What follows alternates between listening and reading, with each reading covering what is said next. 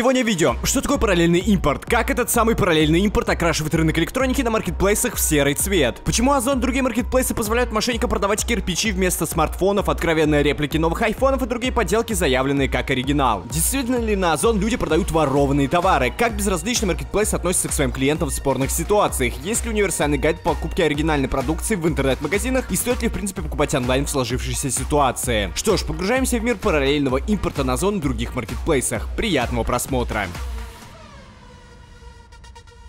Перед тем, как перейти к подделкам на маркетплейсах, немного о репликах, которые могут украсть ваши личные данные. Да, я о тех самых приложениях российских банков и соцсетей, которые предлагают скачать на сомнительных сайтах. Скорее всего, вместе со взломанными версиями вы получите парочку вирусов, подарив мошенникам пароли от соцсетей, почтовых ящиков и даже доступ к интернет-банкингу. Как же сегодня безопасно скачать недоступные приложения из-за антироссийских санкций? Можно воспользоваться Рустор. В нем есть несколько тысяч приложений на любой вкус. Банки, сервисы, игры. Его разработчики активно собирают фидбэк проекта аудитории апдейтит продукт. Из последнего, ребята дали возможность пользователям делать покупки внутри приложения, покупать подписки, оценивать и писать отзывы для апок и даже получать ответ от разработчиков. Также недавно обновили поиск по стору, он стал чуть удобнее и быстрее. Все разработчики приложения в Рустор проходят обязательную верификацию и модерацию системы. Это необходимо для предотвращения загрузки вредоносного контента. Что ж, пользователи Android-устройств наконец-то могут выдохнуть и продолжить спокойно пользоваться любимыми сервисами, недоступными в зарубежных сторах. Здесь уже более двух с половиной тысяч приложений приложений, в том числе весь топ лидеров российского рынка. Переходите по ссылке в описании, устанавливайте Рустор и скачивайте любимые приложения удобно и безопасно. Успехов!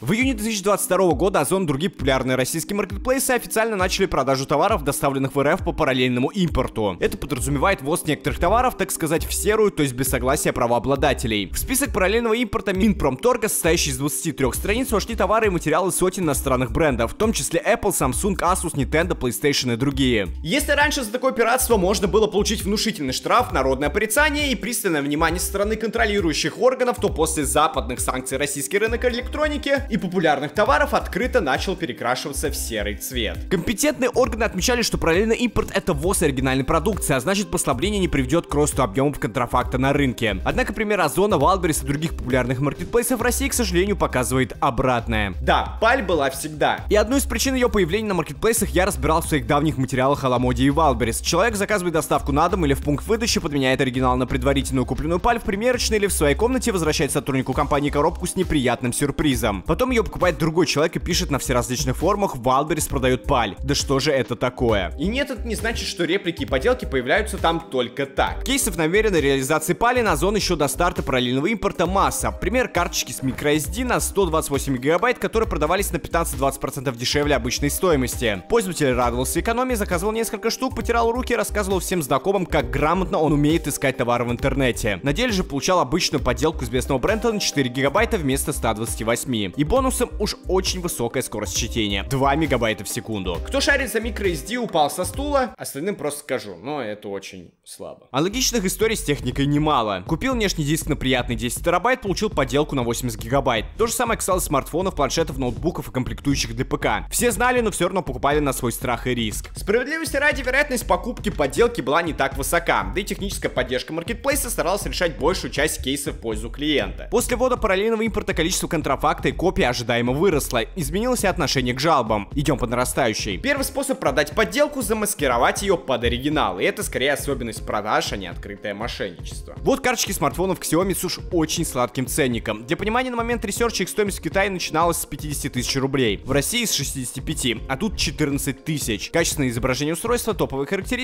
вроде как отсутствие каких-либо проблем. Триггер номер один. Маленькая, но очень важная опечатка в названии. Отсутствует буква I. Триггер номер два. Ответ на вопрос от продавца, который как честный человек даже не скрывает, что продает копии флагманского смартфона от Xiaomi. Естественно, никакого топового процессора экрана с высоким разрешением в реплике не будет. Ну и триггер номер три, ну цена, ну вы сами понимаете, за такую цену М-м. Ну, можно поставить галочку за то, что продавец не скрывает продажу пали, по крайней мере, в разделе «Ответы на вопрос». Что делать тем, кто в эту вкладку не зашел? Вопрос риторический. Как по мне, подобные карточки нужно удалять только за несоответствие указанным характеристикам, ибо это не единичный случай. Вот еще один лот с откровениями продавца в ответах на вопросы. Причем даже с учетом того, что статья об этой реплике была опубликована на популярном ресурсе месяц назад. Товар все еще висит на Озон, а вот совсем свежий кейс. Продажа клонов новеньких айфонов 14 Pro Max, которые в 15 раз дешевле и круче оригинальных. В карточках характеристики оригинала, версии вплоть до терабайта памяти. И все это всего за 12 200 рублей. Покупаю. Круто же, Озон. Ведь мне точно привезут просто реплику с заявленными характеристиками, а не какой-нибудь ироничный гербарий со ссылками на iPhone. Ну там, кусок пластика с прогнившим надкусным яблоком в коробке, например. Да-да, мошенники вспомнили и про старую добрую схему кирпич, картон или бумага в посылке. Вот карточка бюджетного смартфона. Снова ценник ниже рыночного, но уже не в несколько раз. Разница буквально в 10-15%. Плюс есть необычная плашка доставка из-за рубежа. То есть продавец якобы закупает технику за границей и напрямую отправляет ее вам. Кто помнит про ролик Аздек Шопинг? Понимаете, что подобный заказ можно ждать месяцами, а иногда и вовсе не дождаться заявленного устройства. Однако автор отзыва все же рискнул, заказал смартфон в надежде сэкономить. Первое, что его смутило, вес посылки, которая появилась в инструментах отслеживания. Этот смартфон в коробке с дополнительными комплектующими просто-напросто не может весить 254 грамма, так как само устройство весит чистыми 250 грамм. Скорее всего, вместо новенького гаджета там лежали носки, трусы, чехлы для смартфона или книга с подходящим под ситуацию названием. Динозавры, мамонты и разные древности. Хотя даже она весит 440 грамм, поэтому вряд ли. Естественно, продавец никак не отреагировал на вопрос покупателя, потому что его задача потянуть время, получить деньги и скрыться с радаров. Аналогичную позицию по заявлениям пользователей, как ни странно, занял и Озон. Сначала пытался успокоить потенциальную жертву мошенничества, потом вроде как говорил о возврате в течение нескольких дней. Однако ни через 3, ни через 7, ни через 10 дней деньги не возвращаются. Позже оказалось, что для возврата заказ должен отменить продавец, который попросту не отвечает. Потому что там не смартфон. Боже мой, что за замкнутый круг. В общем, без должного терпения публикацию отзывов возврата за посылку с кирпичом или мусором вместо смартфона добиться достаточно сложно. Иногда представители Озона ссылаются на то, что клиент не снимал процесс вскрытия посылки, намекает на умышленную подмену. Объективности ради, иногда Озон оперативно реагирует на волну подделок. Даже не иногда, а чаще. Подобное имело место быть летом 2021, когда Marketplace захватили объявление о продаже поддельных видеокарт. Да, тогда ценники на них еще покоряли новые вершины за страсти по крипте. Озон отреагировал на откровенный обман молниеносно. Сейчас, видимо, мешают масштабы, так как после одобрения параллельного импорта подобных карточек стало в десятки, если не в сотни раз больше. Но почему же так происходит? Неужели Озону и Wildberries иногда действительно э, все равно на вас? На самом деле ситуация двояк. Во-первых, ваш оригинальный iPhone 14 Pro Max могут подменить на паленые сотрудники склада. В сети можно найти массу материалов с откровениями действующих и бывших работников сортировочных центров Озон и Wildberries, которые рассказывают неожиданные инсайты о внутреннем устройстве маркетплейсов. Воровство, подмены, испражнения в посылке, одним словом, полный пи***.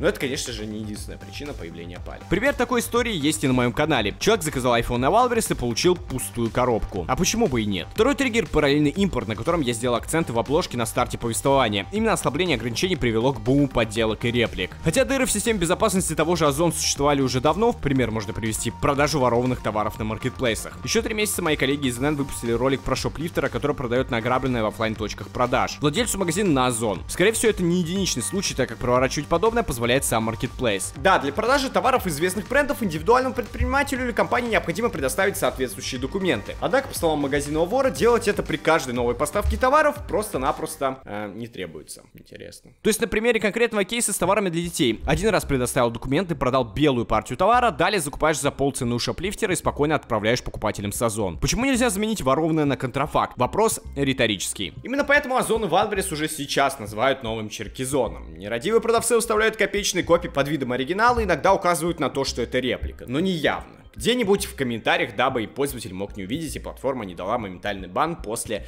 нескольких отрицательных отзывов. Или же можно продавать пустоту и накручивать отзывы. Так, стоп. Вот тут вы и прогорели со своим заказным роликом Александра, ведь отзывы на Озон и Wildberries могут оставлять только те, кто уже купил товар и получил посылку. Вариант номер один. Продавец самостоятельно делать несколько заказов с фейковых аккаунтов, отправляет самому себе посылки с кирпичами на разные адреса, оставляет положительные отзывы для реальных покупателей, которые впоследствии теряют деньги. Вариант номер два. Нерадивый бизнесмен использует группу по типу товар за отзыв. Те, кто хочет получить реплику iPhone или любой другой товар подешевле, а иногда и вовсе бесплатно, проворачивают простую схему. Заказывают и оплачивают позицию, получают посылку, пишут положительный отзыв, после чего получают кэшбэк 70-100% от продавца. Итог в двух случаях, рейтинг 5 на товаре ненадлежащего качества, никаких вопросов со стороны Озона, запаленные накрутки и сотни тысяч, а иногда и миллион рублей для мошенников на манипуляции рейтингом. Комментарии о клевете и неточностях медленно стираются. На самом деле все это лишь ирония, ведь представители маркетплейсов прекрасно знают об этих схемах. Их уже разбирали на просторах YouTube, правда никаких продвижек в сторону решения не наблюдается. Наверное, никому ничего нового я сейчас не рассказал, потому что так делается уже много лет на всех маркетплейсах, даже для товаров реально хороших, чтобы, опять же, э, выделять их в топе, чтобы их чаще покупали. А от этого защититься самим компаниям, маркетплейсам очень и очень трудно. Надо что-то придумать. Выводы. Правильный импорт действительно возможность восстановить рынок электроники под действием санкций в отношении РФ. Однако в итоге он спровоцировал рост контрафакта на маркетплейсах. Да, они вроде как пытаются с ним бороться, однако история вроде получил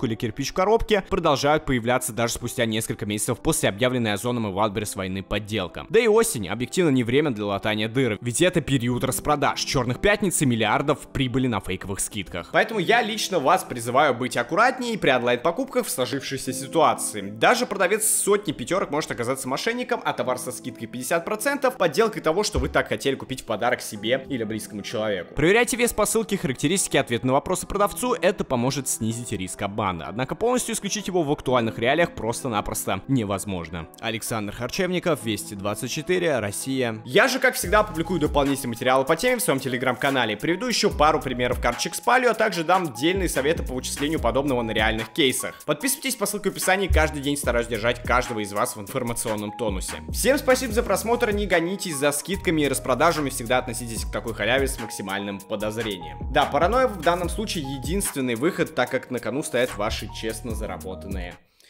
деньги. Поддержите этот ролик лайком, репостом и комментарием со своим опытом покупок на Озон, Wildberries и других маркетплейсах со времен появления параллельного импорта в России. Читаю все истории, отмечаю самые интересные лайком канала, дабы их могло прочитать как можно больше людей. Учимся на чужих ошибках, так сказать. С вами был Саня Харчевников, до скорого.